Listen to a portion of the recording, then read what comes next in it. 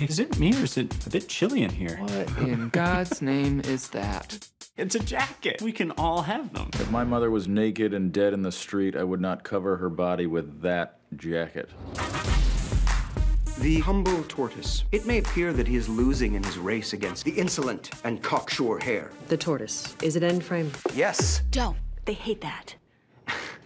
Let's do some rearing. Now let's let the horn look like my dick. There we go. Richard, Are you kidding me? can we take a soft five?